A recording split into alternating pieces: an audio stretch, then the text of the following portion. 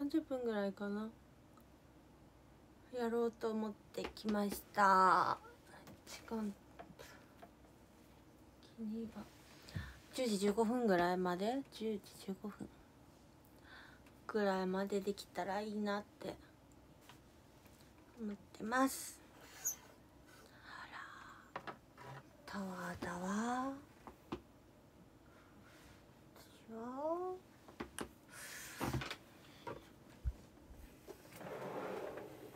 こにやったのかなうー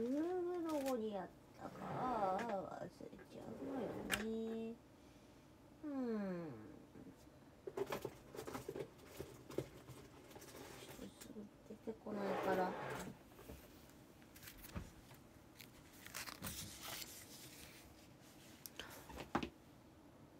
オフライの時の付箋に書こう。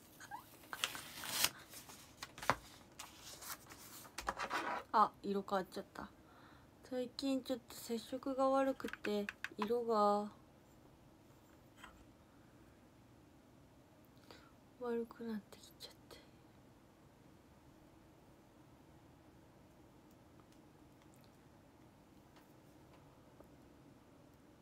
はい今日はえっと飛びか公園に出ましたよ。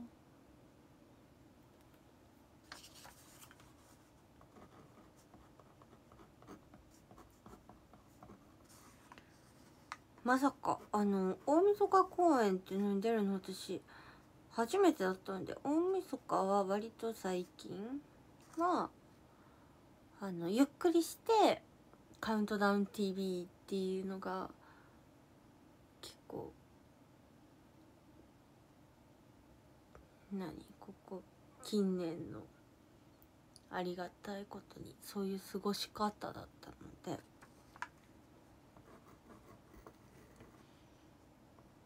初めてなんかしかもあの何劇場にさ終電公演の時にみんな集まったのにまたこう全員が集まるっていうのも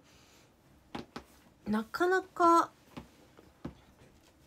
ないじゃないですか。その1ヶ月に2回も全員集合っていうのはなかなかないと思うので。はあ。ゴムかけだけしていい？歯磨きだけしてゴムかけするの忘れたわ。ちょっと待って。ちゴムかけのゴムのやつどこやったの？ん？ゴムかけのゴムどこやったの？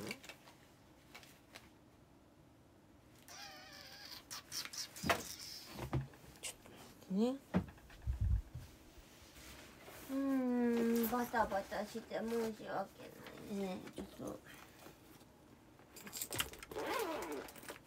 あったあった。ちょっと一瞬だけ待って。音かけをしないと私のこの歯が。せっかくゴムかけをするために歯磨きをしたのにゴムかけをしないともう意味ないので。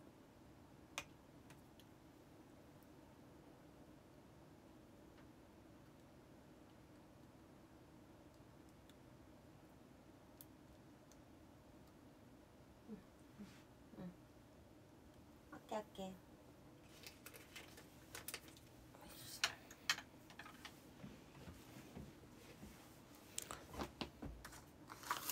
まず。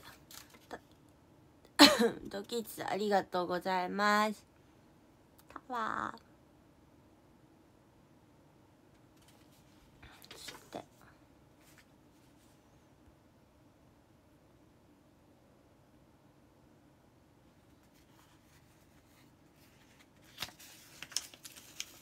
そうなんか最初大晦日ちょっと休む予定だったんで急になんか全員って言われてびっくりしたんですけどそしたらね今日大事な発表があってそりゃそりゃもうみんな呼ばれるわなっていう。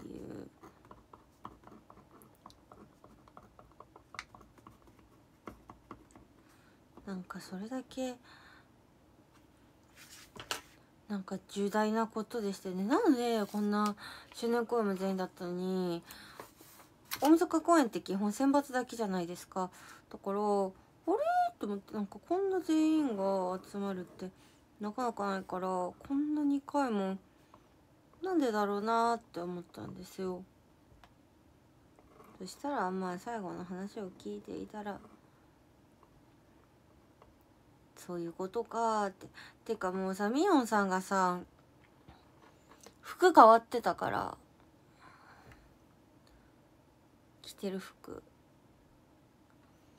この時点で何かあるって思うよね。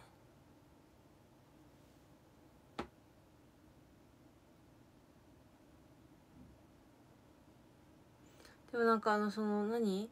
総監督のなんかが授与式みたいなのちょっと初めて見てびっくりした。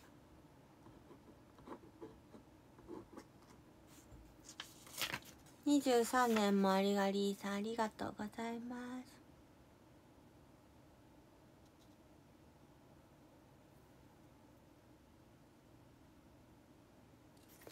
そうだから今回はあのみんなが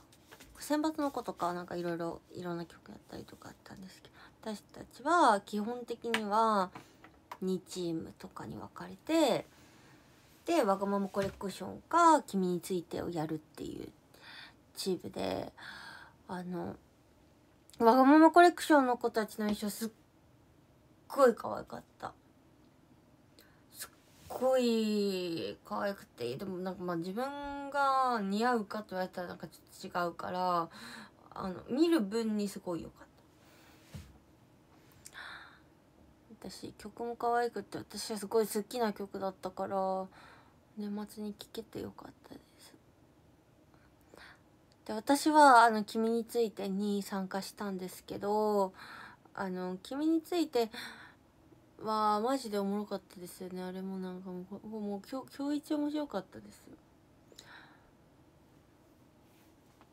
私あんななんか綺麗にずっこけれたの初めてだと思う。ってぐらいあの華麗にずっこけました。だからいやまあまあ言うてあやなさんめっちゃ練習してたしまあなんかこう本人はこういう風な感じだけどでもちゃんと歌いきれましたねってなるはずだったのにっていうなんか振り逆のそういう意味を込めた曲振りだったのにっていうねその私のあの何期待を込めて。さんならやってくれるはずっていうのを言ったんですけどめっちゃ面白かった。なんかそのでもあのフラグの回収の仕方がなんか最高なんか全てのなんかパズルのピースがなんかこううまくはまるなんか一番おもろいラインをなんか本人別に絶対狙ってやってないしなんかあやなさんはあれが合ってるってあの思って歌ってたっぽいから。なんかそれが逆に面白くて。最高でした。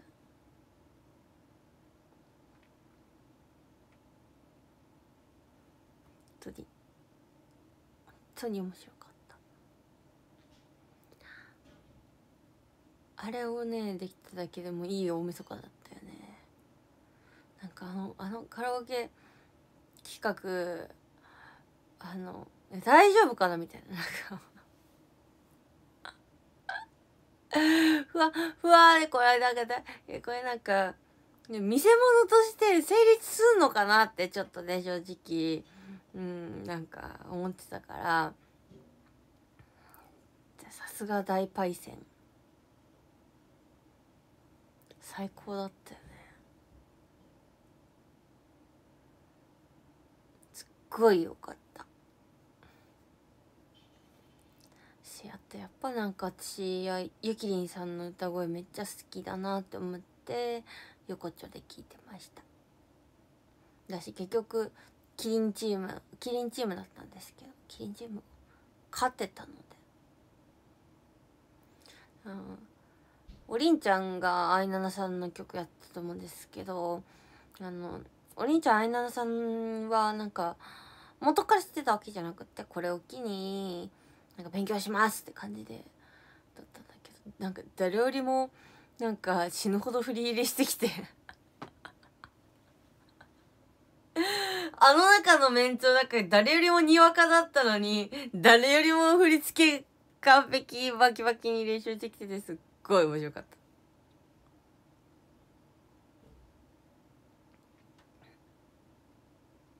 だからあのいや面白いから見なって言って。せっかくそこまで一生懸命覚えたんだったらもうちゃんと見なよって。ぐらい面白かった。てかなんかあのあれだけ愛七さんのこときな人がいるっていうのもびっくりした。まあまあもともとねコンテンツもでかいからってのそうだけど AKB の中だけであんなにいるんだと思って。すごいなって思ったし。いろいろよかったな。おだいりさんとかもめっちゃかっこよかったし。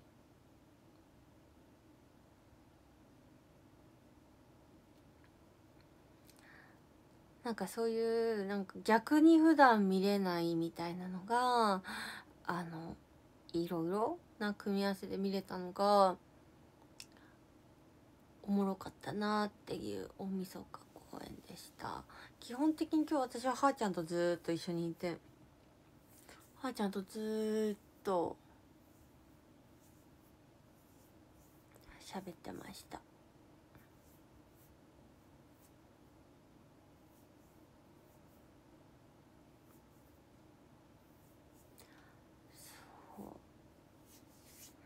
いういい大晦日こうやってなんかメンバーに会えると思ったか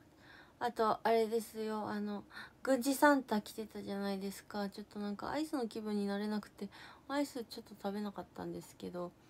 チロルチョコは食べました。軍事サンタがたくさん駄菓子届けてくれてそれでいっぱいお菓子コーナーがあってでも今日すっごい勢いでなくなってた。今日そりゃさ60人近くさ来てたらさうんもう一気になくなりますよね。一気になくなってた。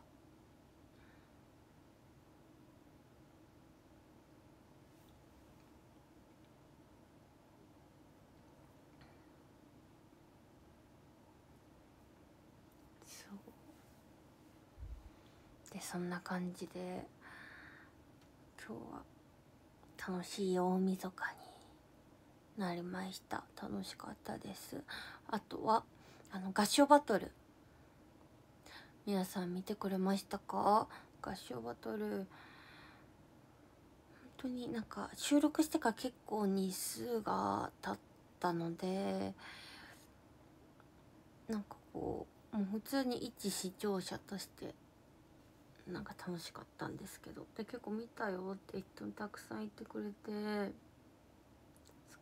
ごい嬉しかったんですけど。なんかその当時はやっぱすごい大変だったんですけどなんか今振り返ってみるとあーなんか楽しかったなーみたいな気持ちになって。私は Z 世代アイドル合唱団として「リンダリンダ」とあと「未来予想図2」を披露したんですけどあそういえばなんか今日南が南がなんか「リンダリンダ」なんか TikTok で「ドブネズミドブネズミ」流れてくるのやつでなんか「リンダリンダハマりそう」って言って南がずっと「リンダリンダ」言ってた。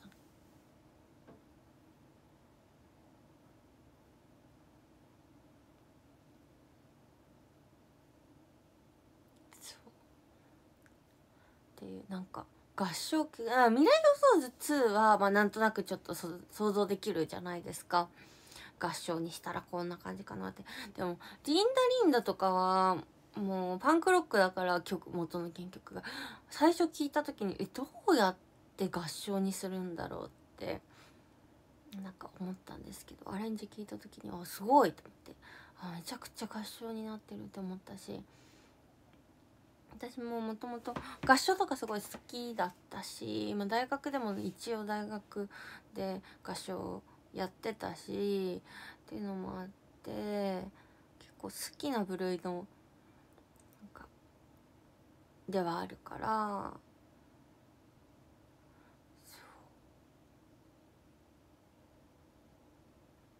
楽しくやってたんですけど。でもとにかくやっぱ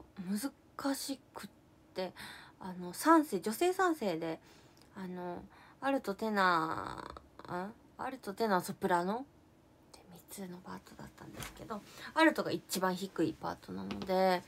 なんか男性がいる時のソプラノアルトテノールとかテノールバスとかのなんか4世とかと違ってアルトがその男女の混声合唱よりももっと低いアルトになるのでなんか最初はすごい低くて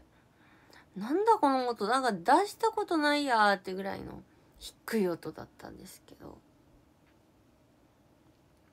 でもありがたいことに私は割と低音域がすごい得意だったので低音域を生かす時が来たと思って。でも自分もアルトが一番やりたかったしアルトが一番音域的に出しやすいそうというかまあなんかアルトの音域出せる人っていうのも限られてるからなんかアルトがいいなと思ってたアルトにしてもらえたりとかしたしめっちゃだからその合唱バトルやってた時期は本当にずっと低音ばっか歌ってたからなんかマジで地声まで全ての声の音域が低くなってあの一時期はもう高い声出なくなるんじゃないかってもう不安だったですけどなんかそれぐらいに一生懸命練習して取り組んだなって思います。なんかこう本番はやっぱすっごい緊張して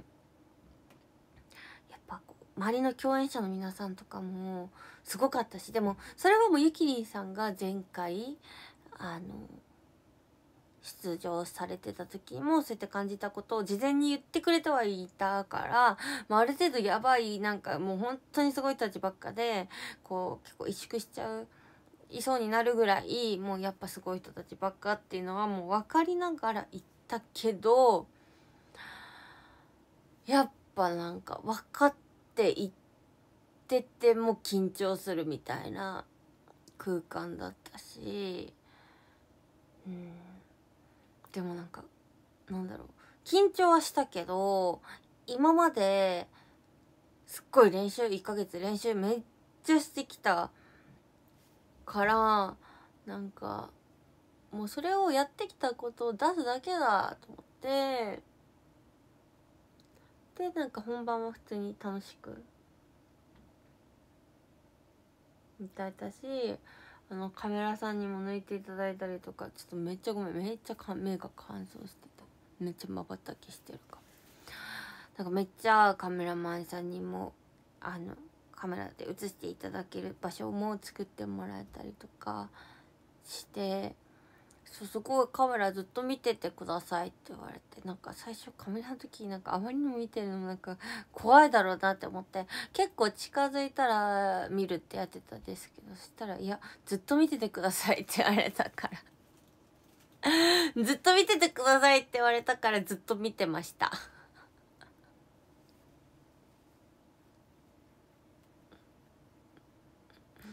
でもあんな見てる人偉くて面白かったよね。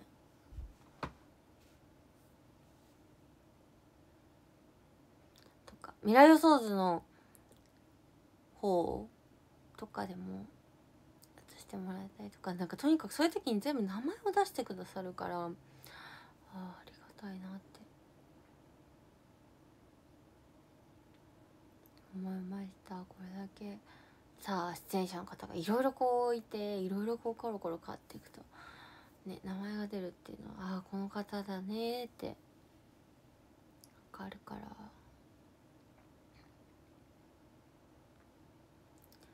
りがたいなって感じだったしやっぱ特にずっとアルトの子たちと一緒にいたからアルトで一緒だった皆さんとはよく喋ったりとか仲良くなったりとかしてそれこそ真山さんとかもアルトでパートが一緒だったからこう仲良くなってご飯行けたりとかしたりしたし葵ちゃん原田葵ちゃん今藤野アナウンサーしてる葵ちゃんもう同い年で。で同い年があんまりなかったんですよね確か。だから手中同い年で。でなんかそういうなんだろう。自分たちの AKB 以外の皆さんと関わるはるちゃんとかもそうなんですけどあの AKB 以外の人と関わるアイドルだったりアイドルやってた方だったりとかそういう人たちとなんかこう喋る機会ってなかなかないのですごい貴重な経験だったしうん、なんか自分からあんまこう話しかけに行ったりとかは結構苦手なんですけど。でもそんな中でも仲良く皆さんがしてくださって楽しく合唱の練習も一生懸命毎に毎回結構がっつりやってたんですけどあのそういうのでもやっぱい頑張れたなって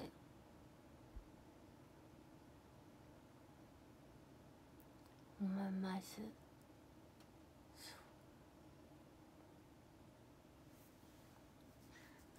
楽しかったな。なんかでも皆さんも見ててあの番組を見てて普通になんか普通にっていうかなんかもうもうすごかったと思うんですけどなんかまず合唱アレンジがめっちゃ良かったよね。合唱どの曲も合唱アレンジがすっごい素敵だったっていうのもあるし。だけどなんか改めてなんかこう普通にこう元の原曲を聴くのもいいけどあこうやって合唱にして聴くのもめっちゃいいなって思うしやっぱこう大人数一緒になって歌ってるからこそのなんかこう音圧みたいなんとかなんかこう生の音とか感情とかがよりなんか乗っかる感じがすごくあってなんか普通に心にグッとくる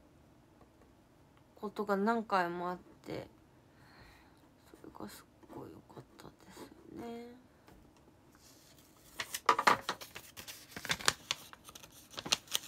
たけぽんさんありがとうございます。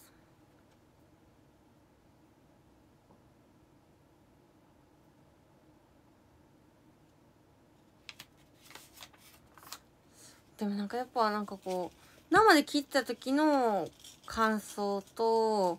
映像で見る感想がまた違くなるのが面白いなんかこう歌の面白いところだなって思いました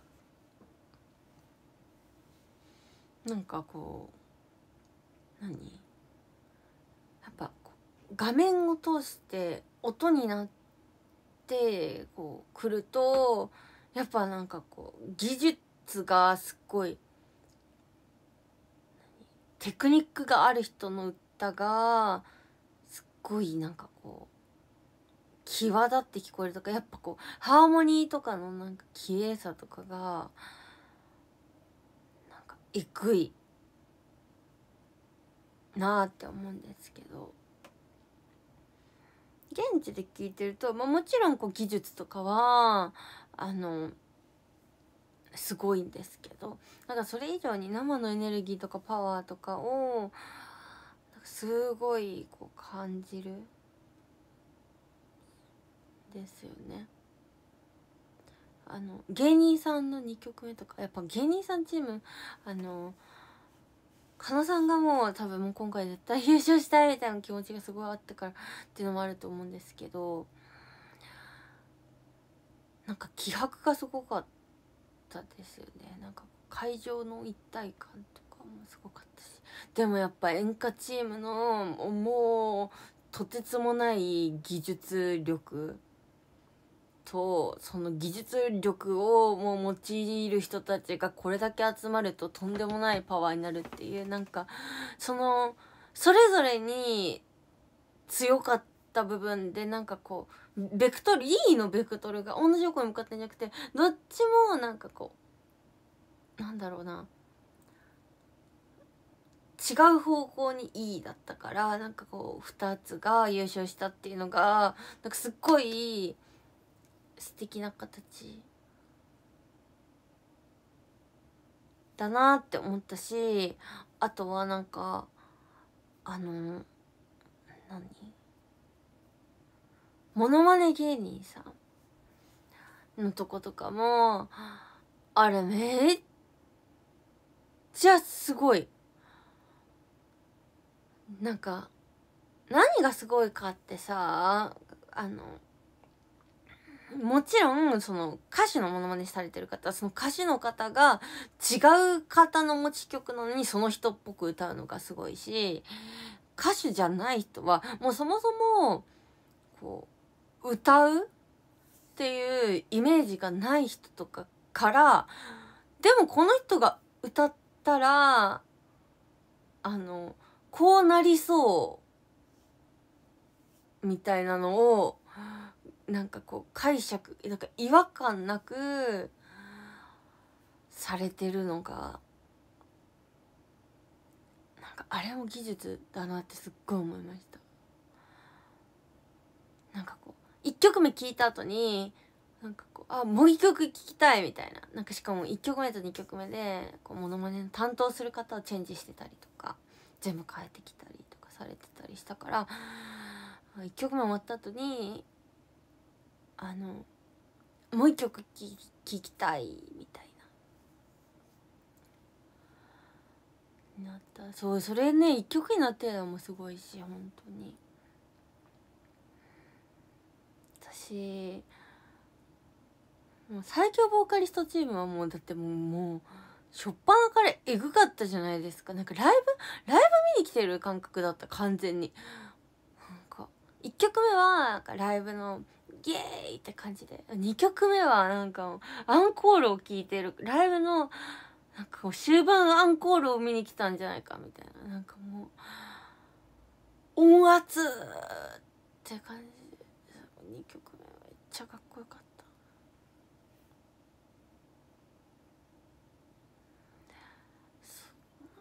本当にすごかったし。アスリートチームはもうあれはもう泣いちゃうよね。第0巻もうめっちゃかっこよかったんですけど私はやっぱヒーローが。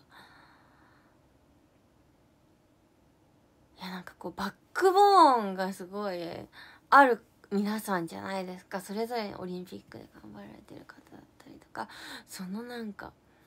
その皆さんがオリンピックのに出る時とかになんか自分たちの大会の時に自分を奮い立たせるためのなんか応援ソングとかテーマソングとかになったやつをなんか今度は自分たちがなんか歌う側として届けるっていうなんかそのなんかストーリーだけでも泣けるしだかそれをなんかこう振り振り付けみたいななんかこう手話で表現してるところもなんか本当に素敵だなって思ってなんかこう音楽っていろんなものをつなぐ力があるっていうのをあの曲ですごい証明なんかこう人の持つエネルギーとかパワーみたいなのをなんかこう証明してくださる方たちじゃないですかアスリートの皆さんって。なんかそれをスポーツじゃなくて音楽っていうものなのになんかそういうスポーツに見えるぐらい良かったです。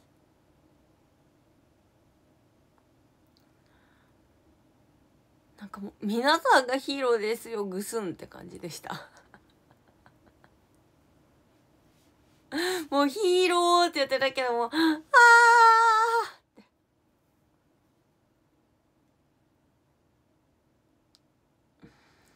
やっぱ皆さんすっごい本気でもちろんだけどされてるからうまくいかなかったとかなん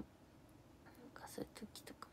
なんかこう本当にチームのメンバーさん同士でこう声かけ合ったり支え合ったりとかなんかしてるのもすごくよくて。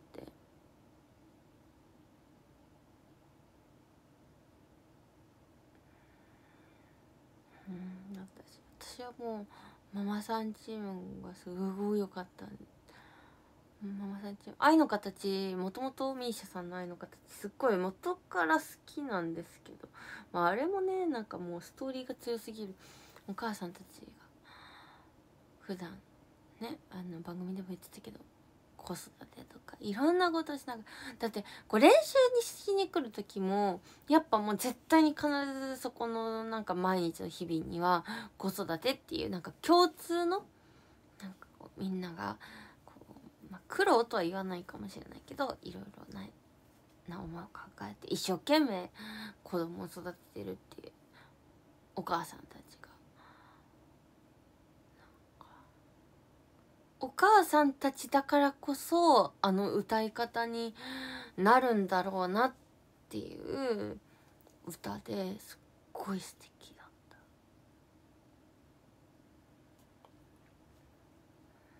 で私たちはそう。リンダリンダとかめっちゃみんなでアイディア出し合いながらなんかやっぱどうしてもアイドルっぽくなるからそのなんかアイドルっぽい可愛さもありつつもなんかちょっとなんかギャップで見せたいみたいなのがあったからリンダリンダは。なんかそういうのをするためのこうパフォーマンスみたいなみんなで話し合って意見出し合って決めたりとかしたりなんか歌い方も、うん、いつもよりもちょっと強めにしたりとか。また未来予想図。そう2曲目が未来予想図2だったからだからこそなんかそこで一気になんかこうガラッと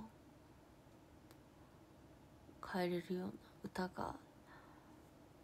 歌えたらなみたいな。もあったりして。私はもう元からドリカムさんママの影響でドリカムさんの曲すごい好きなのであの特に「未来予想図2」はもうずっとちっちゃい頃からもうママがずっと好きな曲だからちっちゃい頃からずっと知ってた曲だったしすごい私自身も好きな曲だからそれを合唱でできて嬉しかったすっごいアレンジがめちゃめちゃや。大好きだったんですよその中でもやっぱ Z 世代のアイドル合唱団の皆さんマジで歌が上手い人たちばっかでうんなんだこの歌の上手いなんか人たちはってぐらいすごい人たちばっかだったし。本当に。なんかだからその1曲目を聴いての2曲目だったからなんか私のなんか気持ちの中でもやっぱ私はあの結構負けず嫌いだからなんかこうなったらいい手取りたいなみたいになって。なんかちょっとでもいい歌を聴かせたいって私だからすっごい魂を込めてなんか本番が一番なんかもうゾーンに入ってたっていうかなんかこうめっちゃ集中して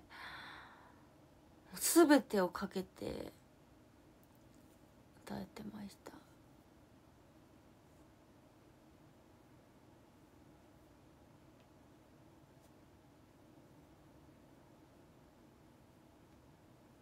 本当に本当に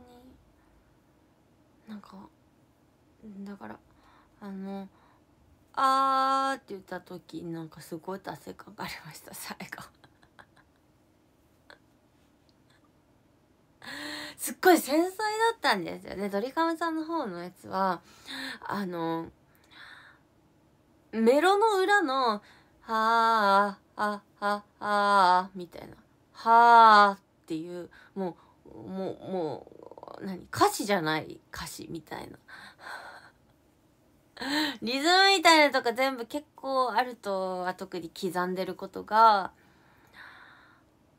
多くて。で結構その音の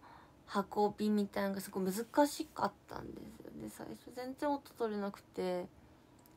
だったからこそ本番は絶対外せないと思って。めっちゃ集中して頑張りました。だから歌終わった後はすごい達成感があったしあのはるちゃんのフェイクめっちゃかっこいい。あのあのあの声質はマジでなんかこうなんかめっちゃいいよなーって思っちゃう本当にうまいかっこいい。あれはなんかもういくらでもアドリブ入れられるかっこよさがある。あの声あの声はねアドリブが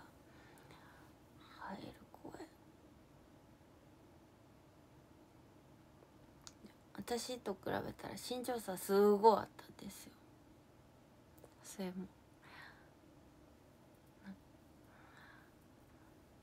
よかったです。可愛かったなんか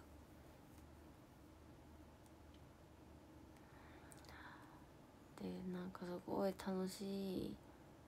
収録すごい収録。もうめちゃくちゃ長時間の収録だったんですけどでもなんか充実がすごすぎてなんかやっぱ、まあ、テレビで聞いても皆さんもすっごい感動したと思うんですけどやっぱ正直いやまあ生がやっぱまあ音楽とかってやっぱどうしてもねそうだと思うんですけど生で聞くのが一番なんですよ。一番だからだからなん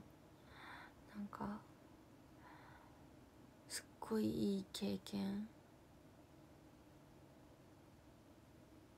ができたなって思いました。毎年なんか特番みたいな感じですね。前回春にやってたみたいだからこんな貴重な経験のやつに参加できてすごく嬉しかったなって思ったし。特にひとみんはあの同じアルトパートで一緒だったので特に一緒にいる時が長くて。で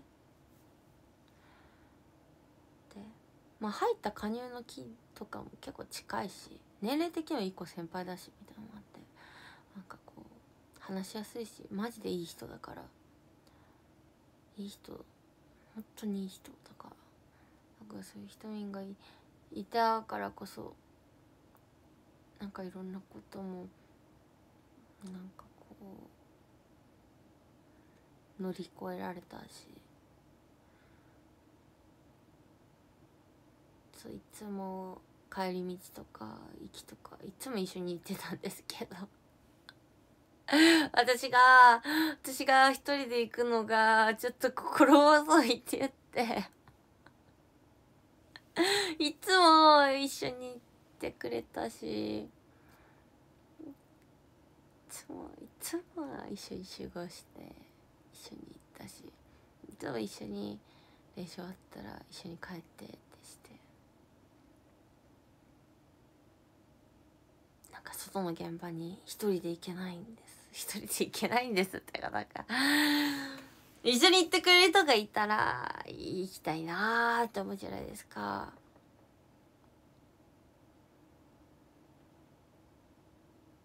迷子になりそうだし。広いしだって。フジテレビ。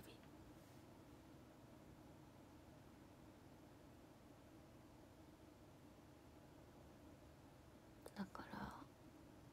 そういうところも感謝。です。あもう16分経っちゃったね。ってな感じであ TVer とかにもまた見逃し配信あるし TikTok とかにもねあのの載せていただいたりとかしたりしてるのであのぜひ皆さんめっちゃ素敵な経験なんかあの中に自分がいたっていうのがあと一つだけ言うとマジで松玲奈さんがもう美しすぎて、はあ、本当にあのもうずっと美しいのもちろんそうなんですけどあの日の美女が特に好きでした。なんかもうねあの透明感がすごくて本当にお美しくて。当にやばかった。なんかもうキラッキラだった。セレナさんお話ししたことないです。あの握手会には行ったことあります。だから話したことあります。話したことあるけど話したことはないです。そういう感じです。だからまたこういうところでお会いできるって思ってなくて本当にあのあれもう最高あ黒髪に前髪なしでピキって分けてるのなんかやっぱあのピキって分けてる前髪って本当に顔の顔立ちが綺麗で整っててだと肌が白くてとかじゃないとあとおでこの形が綺麗でとかそういうなんか全ての条件がもう整ってないとできない髪型じゃないですかあれって。もう一歩間違えたらなんかちょっとなんかえみたいなさになりかねない。髪型をやっぱセレナさんが美しい美しいからこそ。本当に綺麗だった。マジなんかずっと見ちゃったよねだから。じーって。綺麗すぎて。デートも思い出です。とまたまた明日配信するのでまたゆっくり明日なんか新年の抱負やら何やらお話できたらいいなと思います。多分明日が明日配信してでもう一個ぐらいできるかなとまあ。っ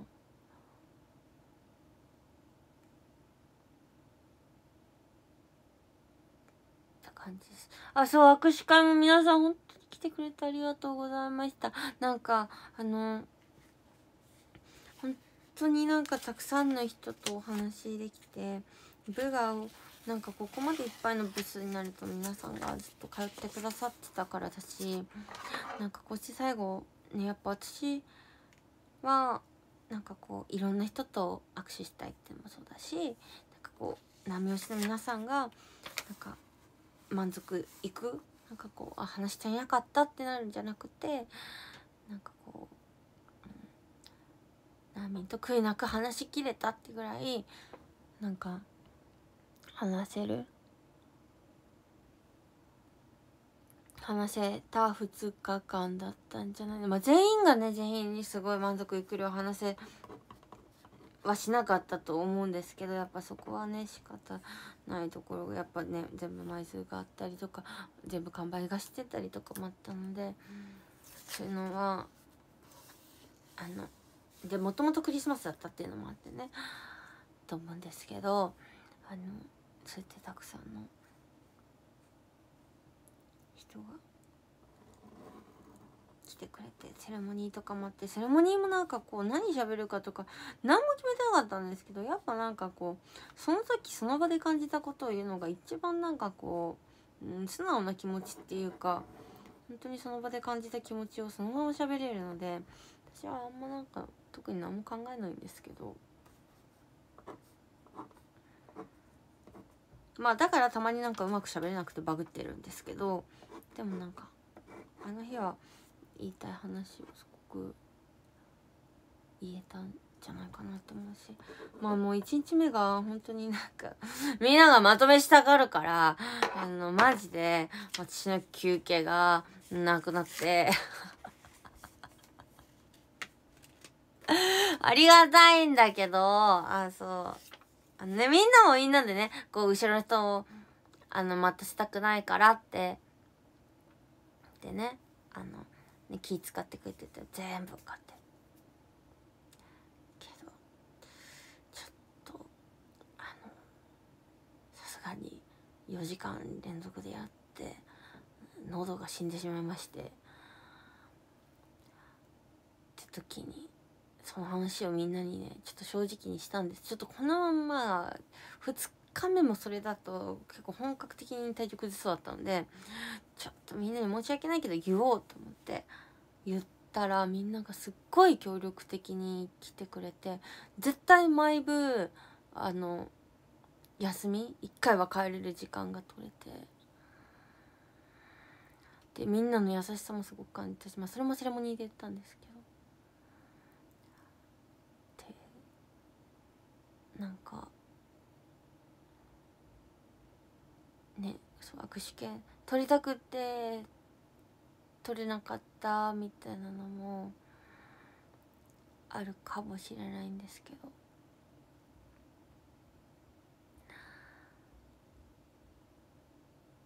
あの時の動画はだいぶがっつりファンの皆さんの顔がめちゃくちゃ映っちゃってるのであのちょっと載せれないんですけど。近いアングルで結構がっつり映っちゃってるのでちょっと動画載せれないんですけどでも皆さん来てくれた皆さんの心に残ってたら嬉しいなって感じです。ちょっとちょっと喋りすぎちゃうんでまた明日喋ります。はいそしてたくまさんありがとうございます。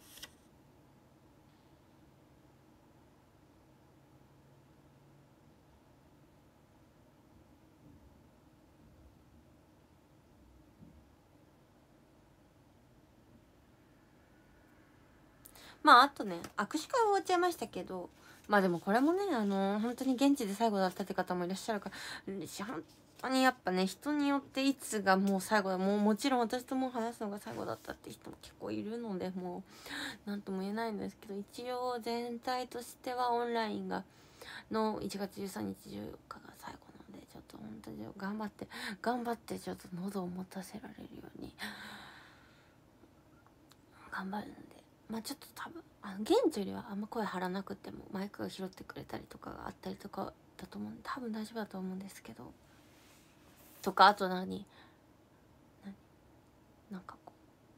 う順番待ちみたいなのもなんかあんまなんか押すみたいなのがオンラインはあんまないので大丈夫だと思うんですけど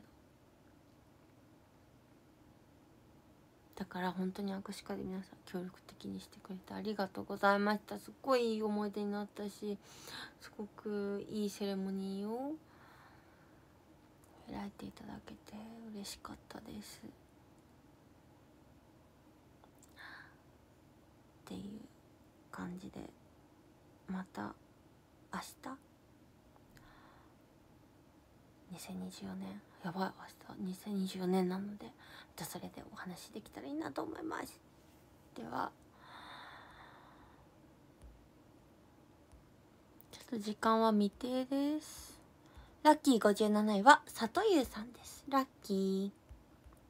そして誕生13位ワックさん12位レフティサポさん11位アナーさん10位としまささん9位ルイージさん8位オーバーレブのマー君7位まさしさん6位チョコミントリスさん。5位たけぽんさん。4位たくまさん。3位ときいちさん。2位ひろっぴさん。1位2023年もありがりーさんです。ありがとうございます。声が荒っちゃったなんか。ありがとうございました。2013年も本当にたくさんいろんなことがあって。なんかね全然最近話できてないせいでなんかこう1年の振り返りみたいなの全然できなかったんですけど。でもあの濃かったです。またなんかその辺も含め明日ねまたゆっくりお話できたらいいなって。思います。なんかこうやって皆さんに向かって「良いお年を」とか 今年も一年ありがとうございましたってこうやって配信を通して言えたりするのもありがたい環境だなってすごく思うので。皆さん良いお年を。2023年もありがとうございました。キャッチフレーズをして終わります。あなたのハートを気にしたいいつも全力。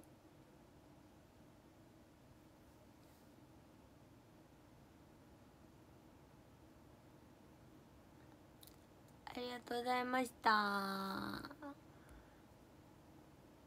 たね